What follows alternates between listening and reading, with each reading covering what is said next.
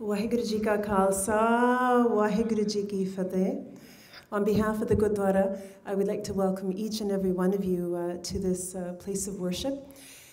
I, it's difficult to follow an introduction like that, particularly from your sibling. Uh, but I uh, take each word that she's given me, uh, and I'll take that to heart because you never know if she'll ever actually speak that highly of me again in public.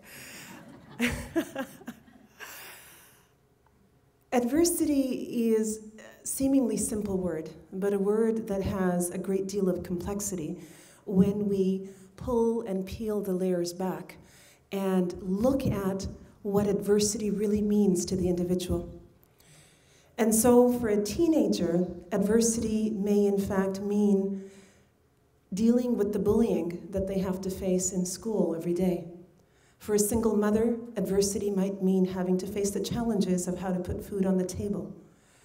Adversity for someone that lives in a, what we call a third world country might mean simply being able to pull enough money together for that day's meal.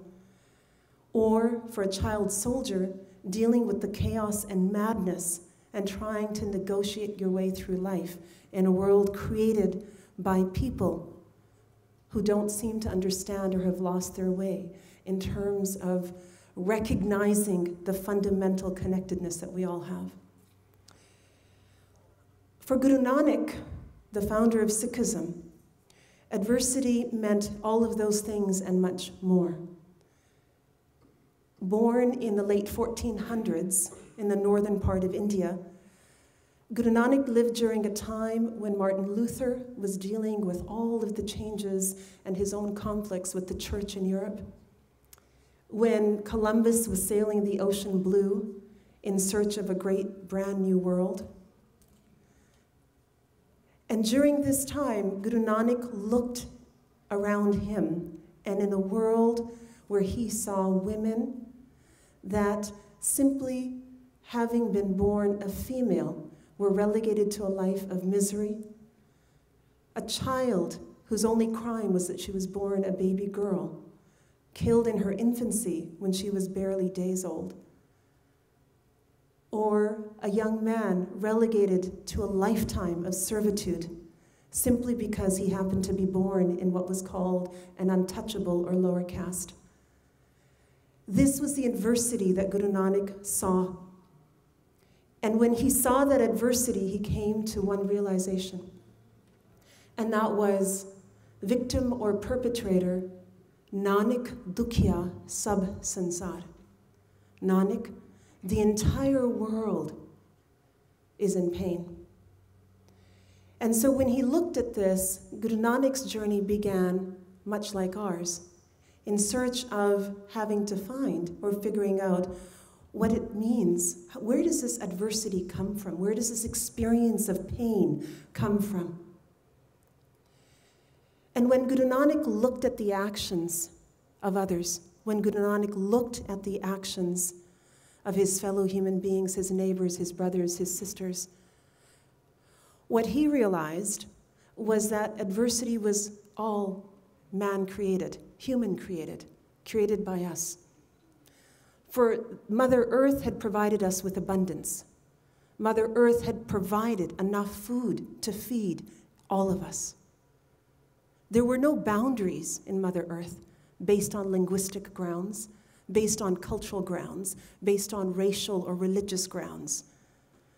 These were simply man made concepts, ideas and ideologies perpetrated by people over centuries and centuries but to what end? And for what purpose? What reason? And when Guru Nanak peeled the layers back a little bit further, the reason he came up with was very simple that most of us see the world in a duality myself versus the other, someone who is outside of myself. Me, mine, and I, you or them. And the myself and the them, when they come into conflict, often resulted in people creating rules and laws and boundaries created primarily to serve their own ends, their own personal ends, whether it was religious rules or laws, social rules or laws, customs. These were all generally created to perpetuate some form of status quo because someone, somewhere in power, felt the necessity to hold on to that power. And so, me was much more important than you. And when Guru Nanak saw that duality, the answer that he came up with to resolve the problems caused by humanity, to deal with adversity, was a really simple solution. A fundamental recognition and understanding that there is only one being. And we are part of that one being, a part of that one reality. And so it is with that in mind that the Guru Granth Sahib, the Sikh scriptures, begin with the number one.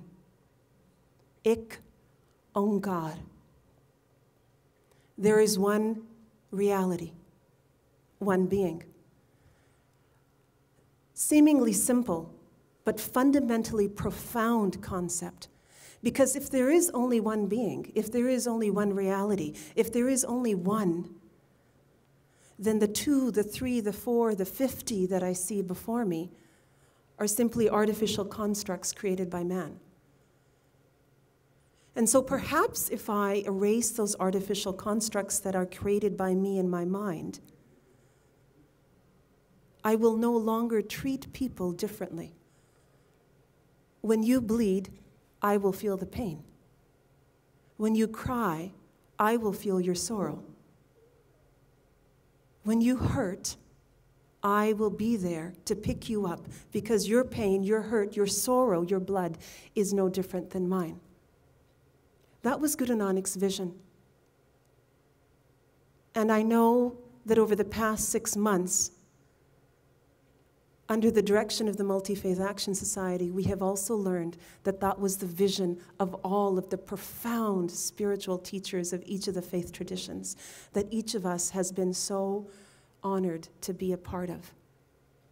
And that is what is so amazing about this journey that we embarked on six months ago, but also the journey that Guru Nanak embarked on 500 plus years ago. And so, beginning with that basic concept of Ik Onkar, there is one being, one reality. Guru Nanak realized that for transformation and change to happen, it wasn't simply enough to have a talk, to say words, but you needed to walk the talk. So, how to walk the talk of a oneness with humanity? Simple. His best friend was a Muslim. And he had another best friend that was a Hindu. He himself was born in a Hindu family. And yet, what he challenged was the rigid structures that every single religion inevitably falls prey to when human beings become the reason and the be all for that religious institution to exist. When we put the divine lower than the institution that was designed to help us reach the divine. It's at that point in time that adversity begins, for we all know that many of the challenges that are faced in the modern world and that were faced in the past were challenges often created by religion, often created by religious institutions. And so Guru Nanak's challenge was not a challenge to religion or spirituality or spiritual practice, but a challenge to structures that were designed to exist in and of themselves. But most importantly, a challenge to the self, a challenge to himself. For even in all of the scriptural writings that Guru Nanak wrote, he always spoke to himself. It was never, you are bad, you do this, but Nanak, realize this, recognize this, understand this, a lecture to the self.